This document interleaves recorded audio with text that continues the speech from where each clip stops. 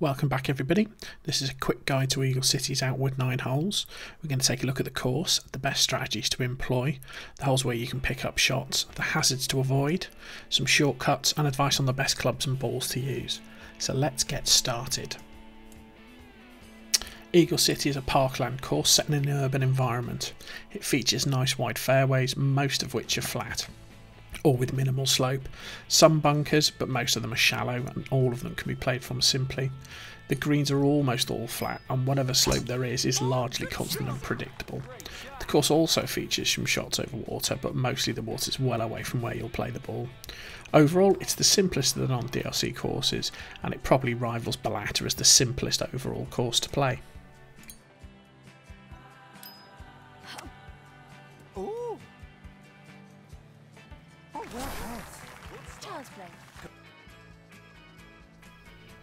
Obviously custom clubs with plenty of power will be the best choice on this course.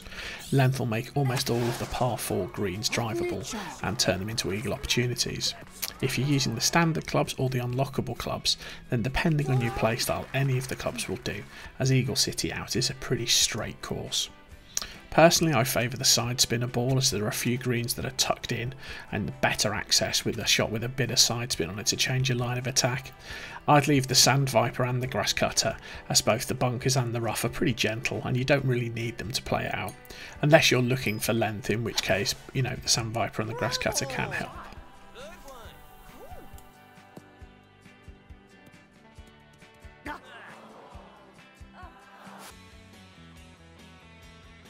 So on to strategy. Simply be aggressive. Use your power shots. Almost all of the fairways are wide enough to catch a mistake, or if you do miss, the punishment isn't too severe. You'll cost yourself shots if you don't go for it. A great example is the first fairway.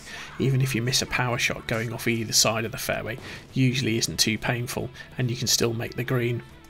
Certainly once you've ranked up a bit and you're hitting 280 yards with the standard clubs, then you really should be attacking everything, looking at birdie as your minimum and trying to maximise your eagle opportunities.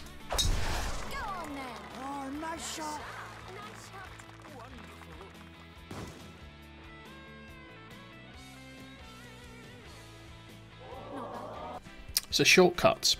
Unless you're just starting out and only driving 180 yards, we've all been there, then hole 3 is a hole you can shortcut and attack to reduce your score.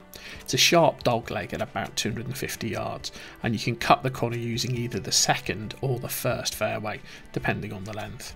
If you have the length, then driving the approach to the first green can actually get you an albatross, and hopefully you'll see a little example of that. In any case, always make sure to look inside the dogleg and see if there's a good landing point to help you reduce your score on 3. Similarly, hole 5, another dogleg, you can also use this to your advantage. So again, just have a look at the next fairway and just see if there's a little place you can place your shot to cut the corner off. It'll reduce your distance, and reduced distance means you can use a shorter club, which means better accuracy, which means better scores. My advice on both of those dog legs is use it.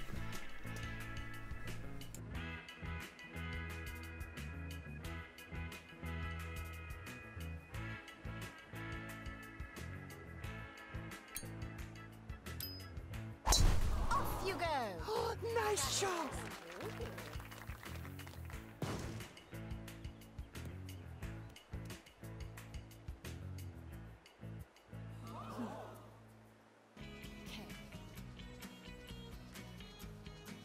So on to hazards. Hole 6 features a series of bridges across a small brook that can be in range of your shots. If you're driving about 280 yards maybe, so some care is needed. There's also a slope on that fairway into a long fairway bunker to consider. Again, nothing too difficult, but you do need to consider your shot selection and the wind to make sure you stay clear.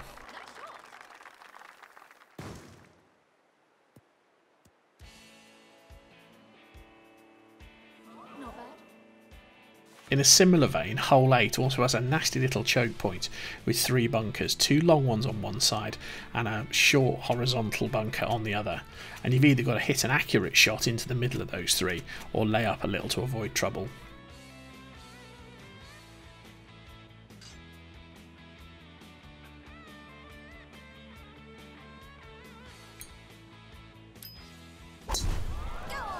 Masterful!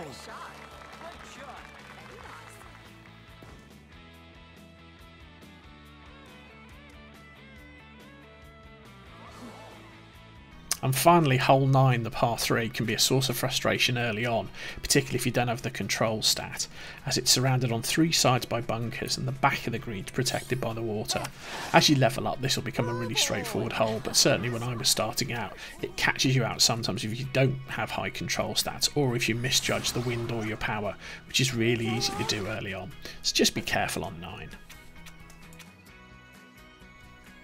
So that's it for our mini guide of Eagle City out. It's nine holes of all out attack.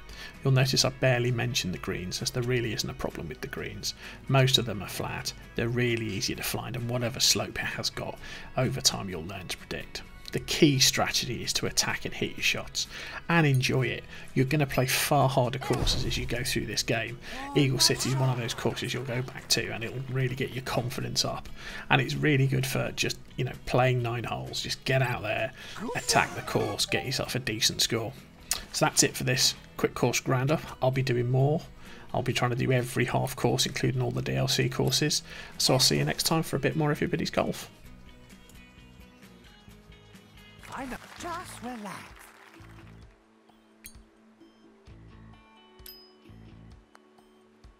Well done!